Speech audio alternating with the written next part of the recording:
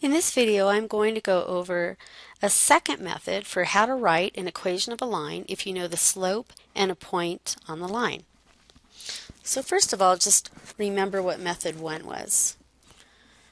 So for method 1 we plugged in the value of m, whatever was given, and then we took the x and y coordinates of the point to plug in that in for x and y into this equation, y equals mx plus b.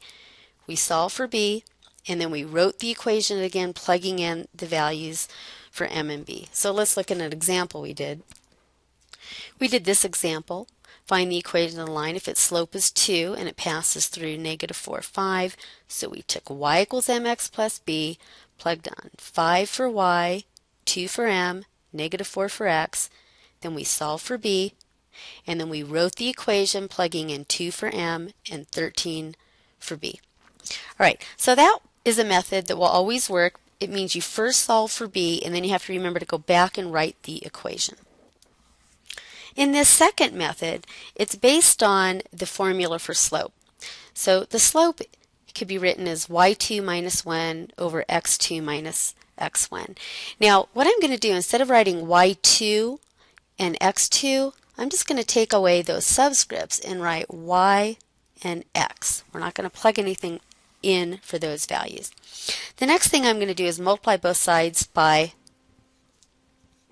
x minus x1 to get rid of the least common denominator. So if I multiply the left-hand side by x minus x1 and the right side by x minus x1, I get this form, y minus y1 equals m times x minus x1.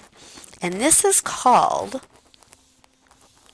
the point slope form of a line.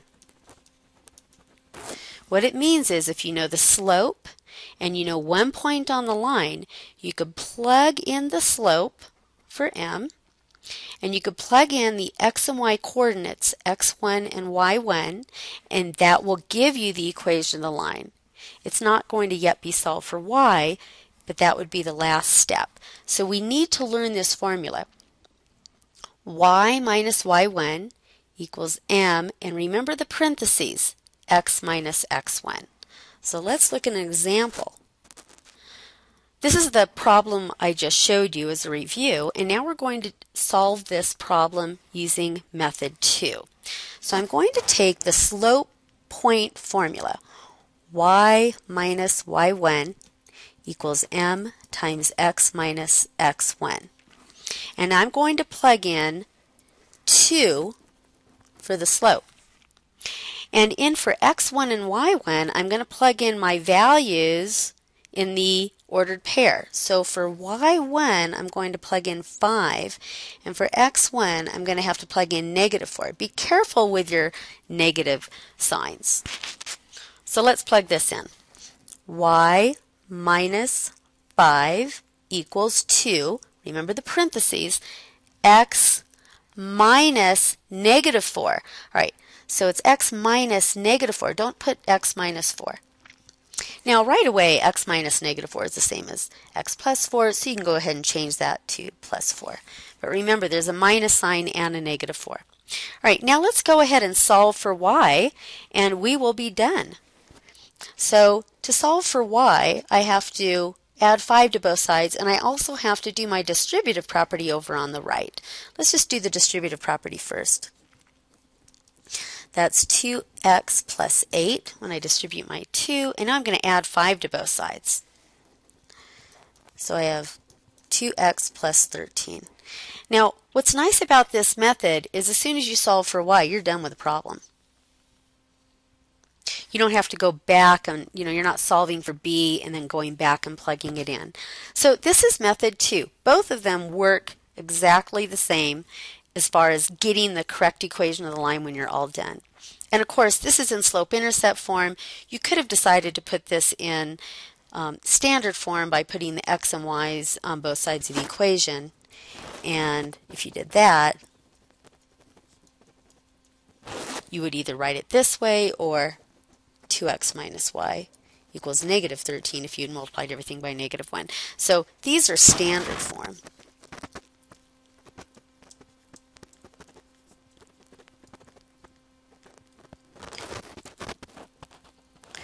where this is the slope-intercept form. So generally you should always write your answer either in slope-intercept form or standard form and if you're directed to do it one way or the other then of course write it in the the form that the directions tell you to do.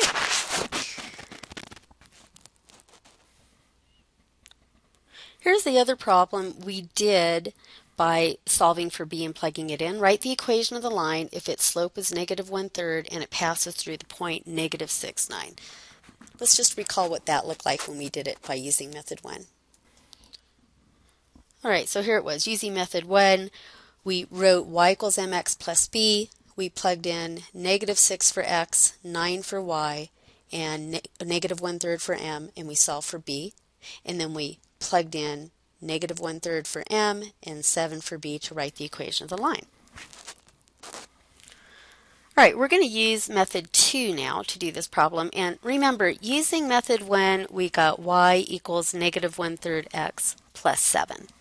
So now let's use method 2. So we're going to write the point slope form of a line, which was y minus y1 equals m and then remember the parentheses, x minus x1. All right, now what are we going to plug in? Well, the slope is negative one-third, so we're going to plug in negative one-third for our m. And in our ordered pair, x was negative 6. That's what we plug in for x1. And y was 9. That's what we're going to plug in for our y1. By the way, it would work if you had plugged in those values for x and y, but then you'd, you'd be solving for a, neg uh, a negative y1. It'd look more confusing. So let's go ahead with this. We've got y minus 9 equals negative 1 third x minus negative 6, right? Which of course means plus 6.